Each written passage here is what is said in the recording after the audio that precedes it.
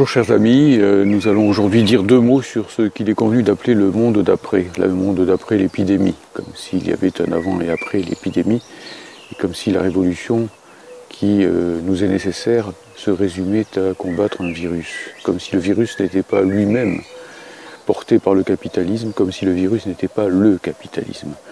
Cela dit, euh, bien souvent, un certain nombre de gens qui sont de bonne composition, se mettent à développer toutes sortes d'utopies bien sympathiques. Ils rêvent les yeux ouverts de ce que pourrait être le monde d'après. Mais voilà, nous, nous sommes euh, des marxistes, nous les membres du PRCF, et donc euh, d'une façon plus générale les communistes. Et nous nous appuyons sur l'analyse de la réalité pour ne pas promettre l'impossible, mais pour justement partir du réel toujours. Et euh, donc aller vers l'avenir d'une manière assurée et militante. Alors la première des choses que je voudrais dire, c'est que euh, ça fait bien longtemps et ça n'a pas attendu le Covid-19 que le capitalisme est obsolescent, qu'il est périmé, que euh, les forces productives en lui ne peuvent plus se développer que d'une manière complètement euh, déformée, perverse, et que leur objectif réel, qui est de satisfaire les besoins humains, ne peut plus être rempli, puisque les rapports de production capitalistes se heurtent sans cesse, c'est ce que Marx a montré, aux forces productives, les empêche effectivement de se développer de manière harmonieuse, effectivement. Et à partir de là, effectivement, eh bien, euh, le capitalisme, depuis longtemps, ne peut plus donner que des formes boursouflées, des formes terriblement inhumaines, qui euh, s'opposent complètement à ce qu'il a d'abord été, que Marx reconnaissait dans le manifeste du Parti communiste, quand il disait que le capitalisme était un mode de production révolutionnaire. Il l'était, mais il est devenu un mode de production complètement réactionnaire, réactionnaire sur toute la ligne, impérialiste, fascisant, opposant sans arrêt les peuples aux autres, euh, les menant à une course à la mort qui euh, se fait sous le drapeau absurde de euh, la course au profit maximal. Et pourquoi cela fondamentalement? Eh bien pour une raison très simple et fondamentale, c'est que le capitalisme, c'est d'abord la propriété privée des grands moyens de production, qui fait qu'un certain nombre de capitalistes, et euh, dans un nombre de plus en plus réduit, possèdent toutes les richesses que produit toute l'humanité. Il y a là une contradiction insupportable, qui était d'abord euh, régionale, puis nationale, qui est devenue maintenant euh, continentale, mondiale, qui serait galactique si le capitalisme pouvait, disons, se répandre à ce niveau-là. Et ce qui se passe effectivement, c'est qu'à partir de là, lorsque la production est de plus en plus socialisé lorsque pour fabriquer une voiture, il faut par exemple des éléments qui arrivent des quatre coins de l'univers, eh bien euh, il y a évidemment euh, un conflit évident avec le fait que cette production euh, est accaparée par quelques actionnaires, de moins en moins nombreux, qui se font des fortunes absolument colossales, puisque aujourd'hui on n'arrête pas de publier les records qui sont ceux des oligarques lesquels euh, possèdent plus euh, à quelques-uns, à une soixantaine paraît-il, que le milliard d'hommes le plus pauvre. Par exemple, on n'a jamais vu ça dans l'histoire de l'humanité, même à l'époque des pharaons. Hein. Donc il y a là une contradiction absolument éclatante qui mène l'humanité à la mort si elle n'y prend garde. Déjà Marx, dans le Capital, euh, avait annoncé, avait énoncé cette idée que le capitalisme ne produit la richesse, je le cite, qu'en épuisant les deux sources de la richesse, la terre, ça c'est tous les aspects écologiques, et le travailleur. Ça, ce sont tous les aspects sociaux et on voit ici combien le rouge et le vert ont besoin de s'unir aujourd'hui pour euh, faire face à la dictature, effectivement, euh, du tout profit qui détruit à la fois l'environnement et l'humanité. Alors, cela étant, c'est pour ça que j'ai développé il y a bien des années l'idée que euh, l'exterminisme était devenu le stade suprême de ce capitalisme impérialiste qui a déjà provoqué deux guerres mondiales. Bon, cela étant, c'est pour cela que notre euh, euh, cher Fidel Castro avait développé lui aussi l'idée qu'à notre époque, il n'y avait pas d'autre choix que le socialisme ou la mort. Hein. socialisme au morir, disait Fidel à la fin de chaque discours, venceremos, nous vaincrons. Et effectivement, de plus en plus, la question qui se pose est celle du socialisme non pas une idée vague où euh, on va répartir euh, pour les plus fragiles, comme on dit tout le temps dans les médias, euh, sur un mode de dame patronesse, quelques richesses, quelques miettes des richesses soustraites aux plus riches, mais réellement donc un bouleversement du mode de production qui permettra effectivement aux moyens de production aux moyens de production qui sont donc les grandes usines, les grands magasins, les infrastructures, mais aussi l'organisation de la science, de la recherche, les satellites, etc. Toutes ces choses-là, de profiter au plus grand nombre, d'être dirigé par la classe des travailleurs et de profiter au plus grand nombre. C'est cela qui fait que le communisme, le socialisme et le communisme n'est pas, contrairement à ce que, dit ce bonnet politique de Finkielkraut euh, ou, ou M. Henri Weber qui vient hélas de mourir, une contradiction dans les termes, mais au contraire la résolution de la contradiction du capitalisme. Il faut socialiser les moyens de production pour socialiser les richesses, les répartir, faire en sorte que euh, les hommes vivent euh, décemment de leur travail et puissent s'épanouir, les hommes et les peuples. Voilà, je ne vois pas où est la contradiction là-dedans, c'est au contraire la logique même.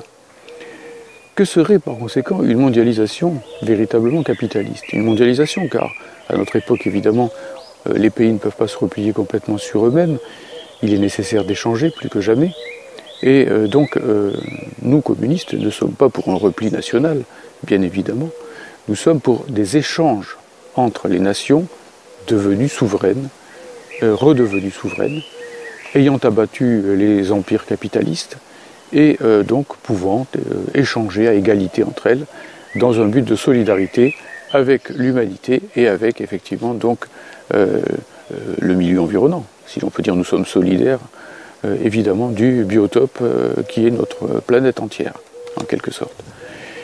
Alors à partir de là, effectivement, le socialisme, d'abord dans son concept, c'est ce que j'ai dit tout à l'heure, c'est-à-dire un pouvoir populaire dirigé par la classe laborieuse et qui travaille pour toute la société, pour le développement de chacun, qui donc fait en sorte que ces absurdes barrières de classe tombent.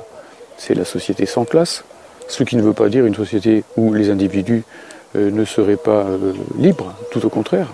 Dans une telle société, justement, ils ne seraient plus classés, ils seraient justement plus des individus qu'aujourd'hui, où ils sont étiquetés, catalogués par les classes sociales même, hein, qui les empêchent effectivement d'être tout simplement ce que nous sommes d'abord de par notre essence, c'est-à-dire des humains, hein, des êtres rationnels, capables de penser, capables d'aimer, capables d'entendre le chant des oiseaux, je ne sais pas si vous l'entendez comme moi, euh, le chantier d'à côté euh, vient d'arrêter, hein, bon, euh, et donc en même temps nous avions le, bruit de la classe ouvrière, bien entendu, sous exploitation capitaliste et sous menace sanitaire. Mais euh, n'empêche que si vous voulez, une vie humaine, on voit quand même ce qu'elle pourrait être. Ce que Gracchus Babeuf appelait le bonheur commun, hein, un bonheur partagé. Bonheur partagé qui, si vous y réfléchissez deux minutes, ne serait pas moins fort pour chaque individu d'être partagé. Bien au contraire, quand vous êtes heureux, vous rendez les autres heureux. Et quand les autres sont heureux autour de vous, si vous n'êtes pas un monstre pervers, ça vous rend heureux aussi. Hein, bien sûr. Donc euh, le partage du bonheur, euh, comme celui de la vérité, ne fait que l'accroître, en quelque sorte. Alors, euh, cette mondialisation capitaliste ne serait pas pour autant une uniformisation. contrairement à ce qui se passe aujourd'hui, où la dérégulation qu'est la mondialisation capitaliste, aidée, propulsée par l'Union européenne, finit par abolir toute la variété de l'espèce humaine, voir ce qui est en train d'arriver pour les langues, où le tout anglais est en train de tout prendre, et où euh, donc on, on, va vers un monde uniformisé linguistiquement qui serait terrifiant, si l'on réfléchit bien. Langue unique, pensée unique, euh, économie unique, politique unique, tout ça dominé par de super-États qui, eux, n'auraient pas perdu leur souveraineté, ne vous faites pas de soucis. Les États-Unis, par exemple, ou euh, la République de Berlin ne sont pas prêts de renoncer à leur souveraineté, voire la lettre que la Cour allemande de Karlsruhe vient d'adresser à la BCE pour lui signifier que s'il y avait le moindre écart par rapport aux doctrines monétaristes habituelles qui fondent l'euro et qui fondent le marque, eh bien euh, l'Allemagne euh, reverrait sa politique à l'égard de l'euro et de l'Union européenne. Les empires ne marchent que parce qu'il y a dans les empires effectivement des puissances dominantes qui écrasent les autres. Pense aux Grecs par exemple, je pense aussi aux Italiens qui ont été euh, complètement abandonnés par l'UE, sans parler de la France au début de la pandémie. Au contraire, une mondialisation euh, socialiste en marche vers le communisme serait une mondialisation où, sous l'égide de la classe, la classe dominante nouvelle, c'est-à-dire celle des travailleurs, qu'on appelle la classe ouvrière, la classe travailleuse, peu importe au fond, euh, eh bien, euh, aurait, donnerait lieu à des pays souverains, égaux et solidaires, c'est-à-dire la, doctrine ou la devise française liberté, égalité, fraternité, à l'échelle du monde. Souveraineté des pays, égalité entre eux et euh, solidarité, mutualisation des moyens, notamment en matière scientifique et en matière de gestion du rapport à l'environnement. Il faut évidemment que le développement scientifique soit partagé et que la manière de traiter euh, l'environnement soit euh, à la fois nationale, continentale et mondiale. Tout cela avec de vérité. Merci de ton approbation, cher ami.